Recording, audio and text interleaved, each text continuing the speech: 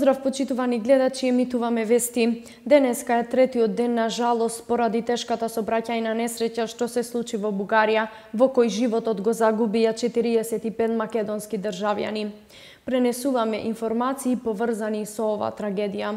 Обдукцијата на 45 жртви од трагичната несреќа која пред два дена се случи на автопатот Струма во Бугарија, заврши, потврдуваат за Слободен печат директорот на Институтот за судска медицина доктор Александар Станков. Тој заедно со двајцата колеги од Скопје им асистира на бугарските вештаци во вршење на обдукциите.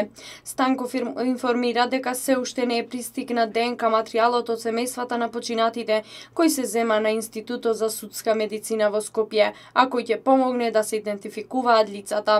Главниот обвинител на Република Бугарија Иван Гешев, заедно со колегите денеска се очекува во Скопје да пристигне и да поднесе барање за прва помош од обвинителството во Македонија.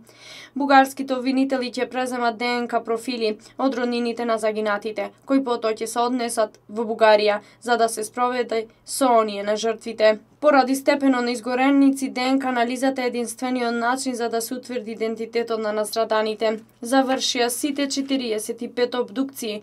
Не е пристигнат уште ДНК материјалот од Скопје за да се направи споредба.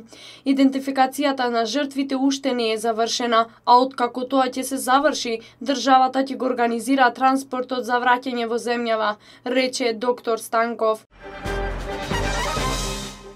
Идентификацијата на 45 загинати во завчерашната тешка собраќајна несреќа ќе се прави од како ќе биде земе биолошки материјал од роднините на жртвите. Се очекува таа да трае најмалку 7 дена и кога ќе заврши ќе биде организирано пренесување на нивните посмртни останки од Бугарија во земјава. На средбата со надлежниот главен обвинител, министерот за надворешни работи Бујар Османи, вчера во Софија разговара за да се забрза собирањето на биолошки материјали од роднините, кои кој треба да се спореди со ДНК-та на жртвите, зашто во Скопје ќе бидат пратен бугарскиот тим истрашители. По завршувањето на идентификувањето на загинатите, Министерството за надворешни работи, односно државата, рече Османи ќе ги преземе телата и ќе ги организира транспорт до Скопје. Тој вчера ги посети седумте мина патници кои ја преживеа несреќата и рече дека се во стабилна и добра состојба но дел од нив се во тешка психичка состојба и им потребна професионална помош. Добив печаток дека овде во обвинителството во Бугарија е даден врвен приоритет на оваа истрага и дека сериозно се зафатени што побрзо да излезат со резултати. Се надевам дека оваа истрага ќе се одвива темелно за да се одредат вистинските причини за трагедијата, изјави Османи. Превозникот Беса Транс остана без лиценца за работа по смртоносната автобуска несреќа во која загина 45 патници, а 7 се повредени. Од Министерството за транспорт и врски информираат дека согласно член 12 од Законот за превоз во патниот сообраќај, а поради недостатоци што се утврдени од страна на Министерството за транспорт и врски, а воедно и со цел да се превенира какво било друго дејство од страна на фирмата кој би можело да предизвика негативни последици. На фирмата Беса Транс и се одзема лиценцата за работа, односно се забранува вршење на дејноста. Министерството тврдува дека за опожарениот автобус нема издадено извод од лиценца за вршење меѓународен слободен превоз за патници, ниту пак за друг вид јавен превоз. Овој автобус го нема во евиденцијата за издадени лиценци, каде што се регистрирани четирите други автобуси на фирмата Беса Транс. Фирмата е должна веднаш да, да депонира лиценци за вршење на меѓународен слободен превоз на патници, изводи од лиценца за вршење на меѓународен слободен превоз на патници до Министерството за транспорт и врски. Дополнително, владата на последната седница го задолжи Државниот инспекторат за транспорт да изврши вонредна инспекциска надзор на превозникот Беса Транс. Министерството за транспорт и врски е во целосна координација со останатите државни институции, при што информира дека стои на располагање со целокупна база на податоци. Поглаваро на Македонската православна црква Охридска архиепископија господин господин Стефан изрази сочувство за настраданите во автобуската несреќа во Бугарија. Со жалење ја примивме веста за страотната сообраќајна несреќа што се случи на автопатот Струма во Република Бугарија, каде што го загубија животот 45 патници меѓу кои деца, состравувајќи со болка на семејствата на постраданите од свое, како и од име на клинот и на верниот народ на Македонската православна црква Охридска архиепископија, искажувам најискрено сочувство, молејќи се за спасение на душите на починатите, а на повредените им посакуваме побрзо закрепнување, наведува архиепископот Охридски македонски господин господин Стефан во изразот на сочувство кон семејствата на загинатите во несреќата во Бугарија. Продолжуваме со информациите од нашиот регион. Меѓу 45 жртви во трагедијата во Бугарија имаше и 4 починати од општина Дебар. Стартуваше првата фаза на проектот за подобрување на водоснабдувањето на Дебар и регионот. Дебар, поради техничките зафати, немаше вода. Да ги проследиме информациите. Во големата трагедија што се случи во Бугарија, во која животот го загубија 45 македонски државјани, според досегашните информации имало и 4 жители на општина Дебар. Станува збор за Ера, роден 1980 и неговата сопруга АР 1984 година, како и СМ роден 1973 година и неговата сопруга ЗМ 1973 година.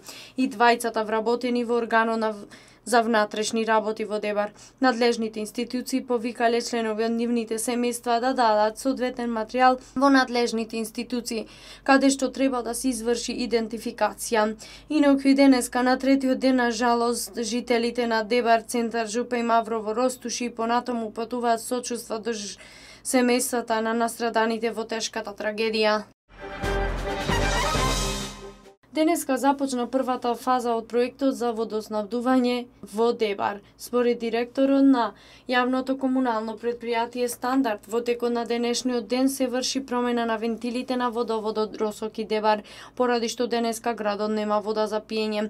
Директорот на Стандард Бурим Каба информираше дека денеска водата за пиење нема да има од 7 до 22 часот на првиот ден на стартувањето на првата фаза од проектот за санирање на водоводот Росок и Дебар. Фактички започна и смената на вентилите на воздухот и вентилите за испуштање. Со оваа активност ќе се овозможи на градскиот резервар во Дебар да пристигнуваат повеќе води, вели директорот на Стандард Бурим Каба. Денеска на почетокот на првата фаза од проектот на терен беше градоначалникот на Дебар Хекуран Дука. Тој истакна дека станува збор за значаен проект и значајна инвестиција со што ќе возможи квалитетно и навремено водоснабдување во Дебар и регионот. Поради реализација на активностите од страна на надлежните институции во организација на општина Дебар и јавното комунално предпријатие Стандард, денес има проблеми во водоснабдувањето и во општина Центар Жупа. Според директорот на јавното комунално предпријатие Кале Етем Исламовске, се превземаат сите активности да се стабилизира водоснабдувањето и во општина Центар Жупа. Во таа насока активноста се вперени како и подобрување на состојбата со водоводот од Лучишта, така и за подобрување на состојбата со водоводот Росок и Мелнички мост Дебар.